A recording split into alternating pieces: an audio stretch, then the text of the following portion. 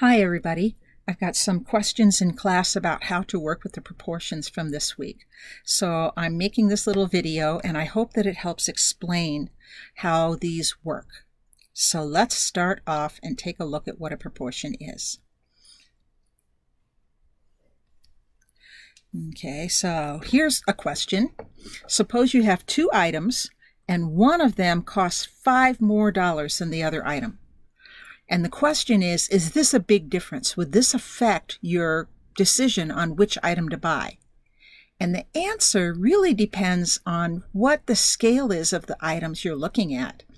If this were, say, a notebook or a salad, $5 would be a big difference between the two prices. But if you're talking about a car, then $5 is not a big difference at all. And so this is where proportions come in. They look at what's called relative comparisons.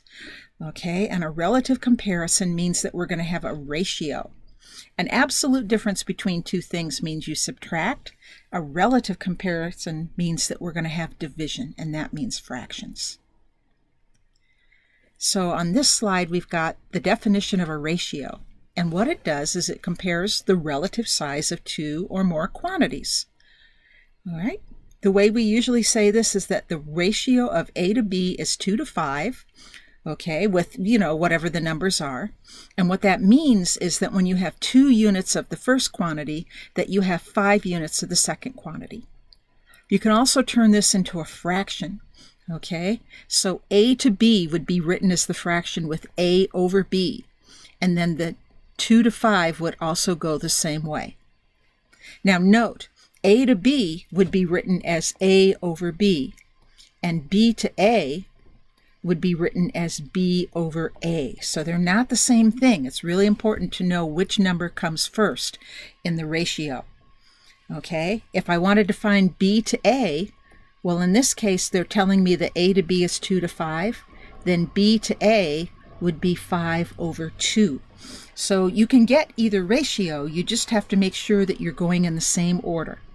The first number in the ratio goes with the first letter, and the second number in the ratio goes with the second letter. And if the ratio has the first number over the second number, then you put the first number over the second number. You just make sure they're in the same order. Now, we're going to need to solve equations in order to work with these, so I want to give you a quick method. It's not always the very quickest method, but this method is always going to work, and it has three steps.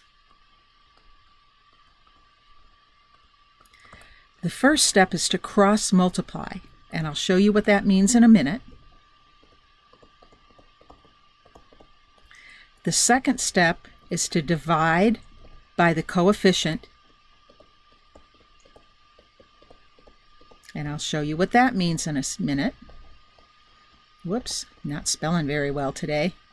And the third step is to use your calculator.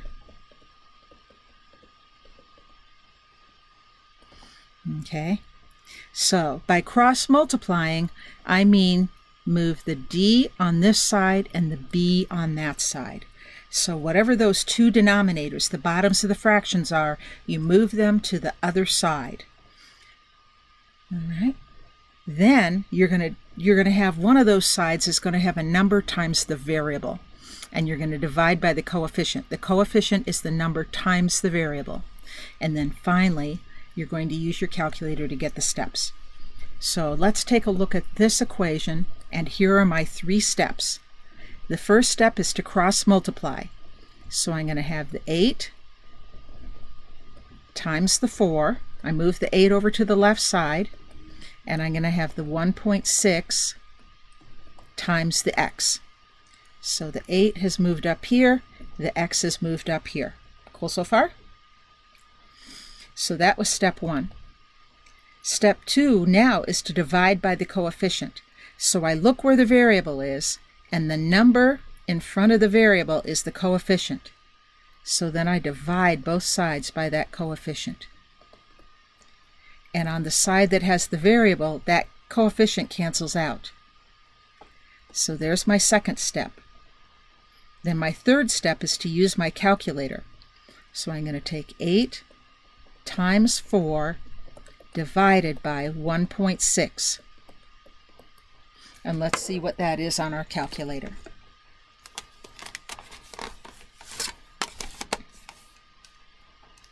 Eight times four divided by 1.6. I'm just entering it exactly that way, and that's 20. So 20 equals x. And there's my solution to that equation.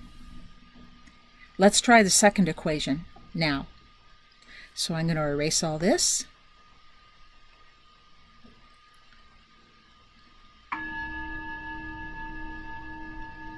And of course I forgot to turn my phone off before this video, but that's okay.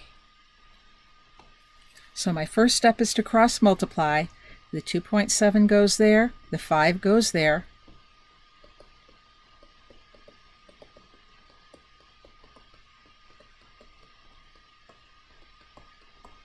So I cross multiplied. The next thing is to take the number that's multiplied by the x, that's my 5, and divide on both sides. And it cancels on the side with the x. So now I have just an x in the equation, and I have 3 times 2.7, whoops, that's a 7, and that's a 2, and there's a point in the middle, over 5 equals x. There's my second step, and my third step is to use my calculator.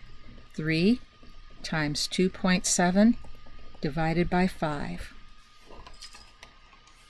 3 times 2.7 divided by 5 is 1.62. So x equals 1.62 is the solution to that equation.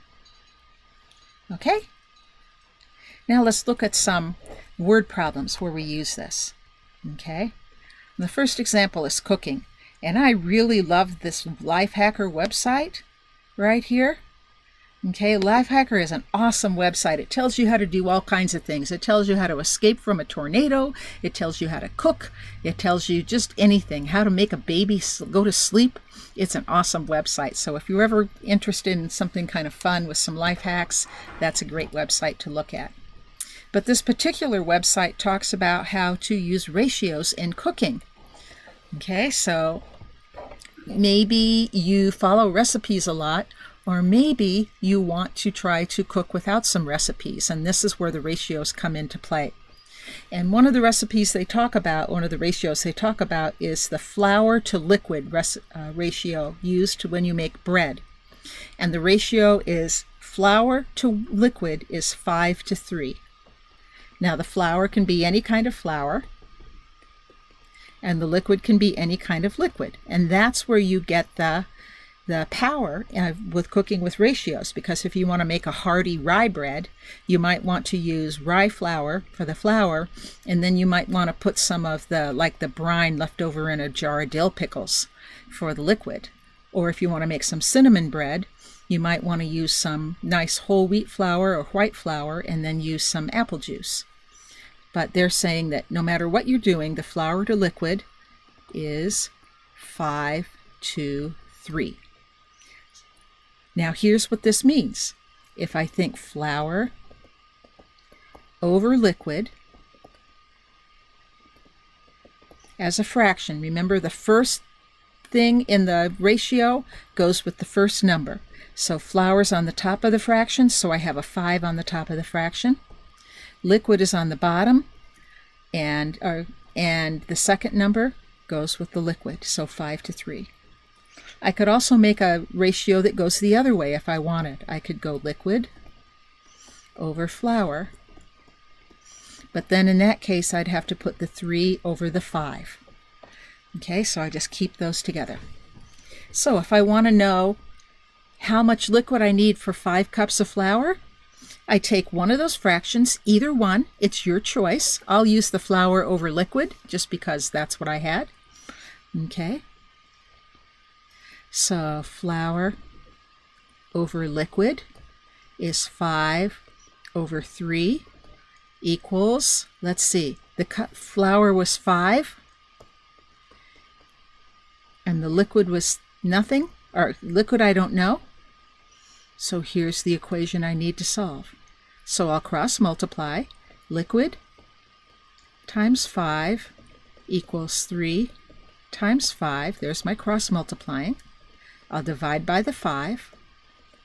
The 5 will cancel on the left-hand side, and I'll get liquid equals 3 times 5 over 5. And when I calculate that out on my calculator, that just becomes 3. And that's probably not a surprise because we already know 5 cups of flour goes with 3 cups of liquid. So let me erase that. Let's look at the second one.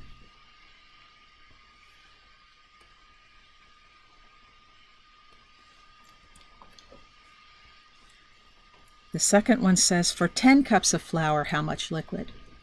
Well, I know that flour over liquid is 5 to 3.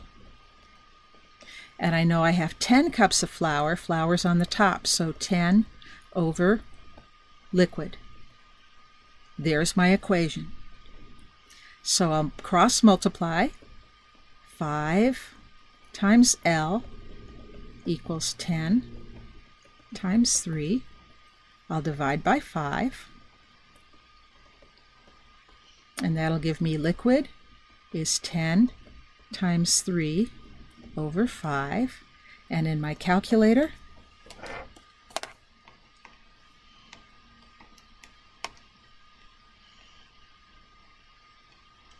whoops, okay, 10 times 3 divided by 5 is 6.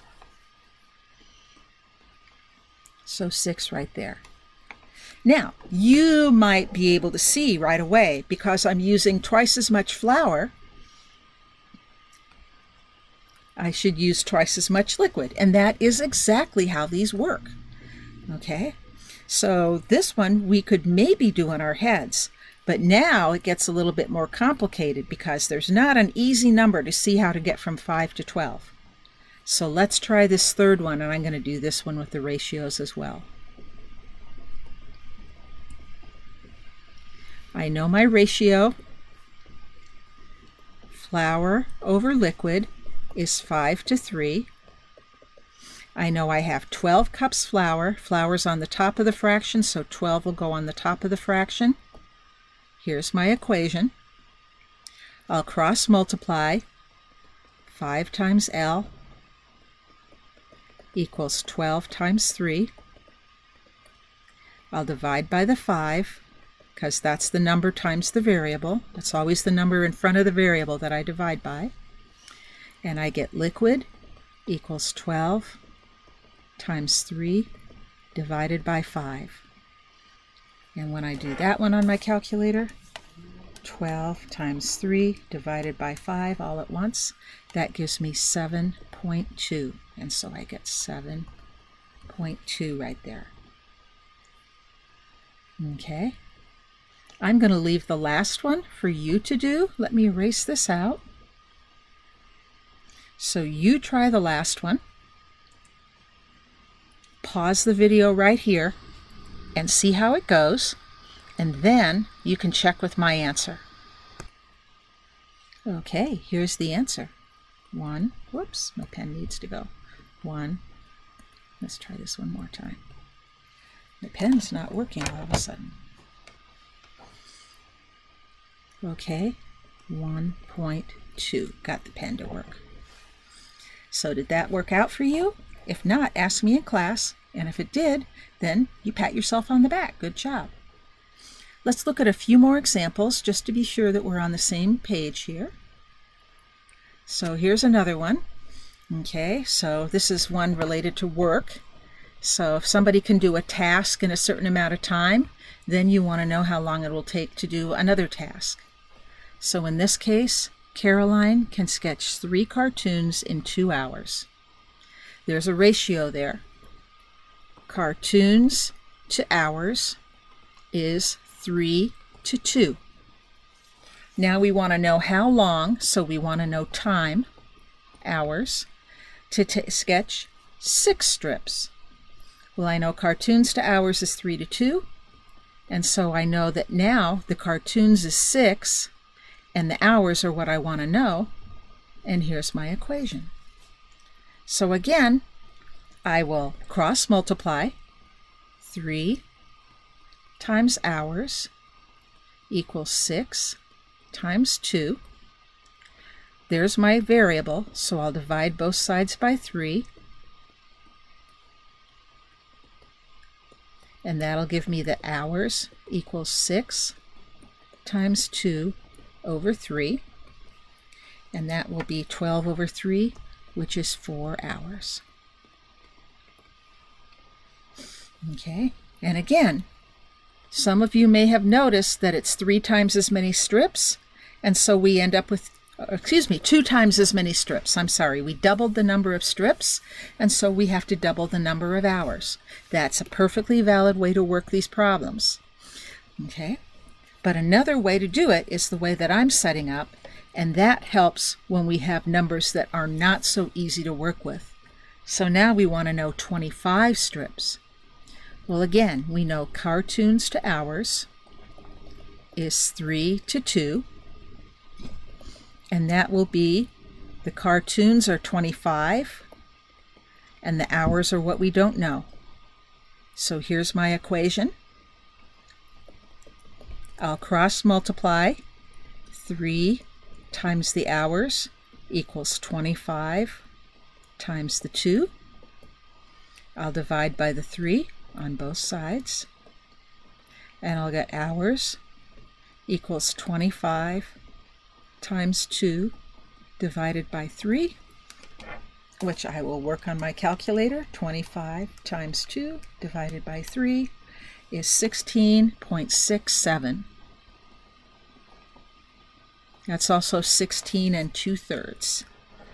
Okay, hours in order to do that. Let's do one more example. Okay, this has to do with exchange rates. We have some of these on in our class as well. So let's take a look at this. $1 US equals $1.31 Canadian. And suppose you go to Canada when the pandemic's over and you see something that is 17.95 in Canadian dollars and we want to know what the US equivalent to that would be. Well, I have two things that are equal, so again, I can make a ratio out of them. So I can put US over Canadian, and that would be 1 over 131. So let's see what we have here. 1795 Canadian. Well, the Canadian, the way I set this one up, I had the Canadian on the bottom of the fraction, so I'll keep the Canadian on the bottom of the fraction. I always keep the same units on the bottom, which is really why this fraction in the beginning is useful. Helps me to know whether my number goes on the top or the bottom of the fraction. And I want to know how much it costs US. So there's my variable. Now here's my equation.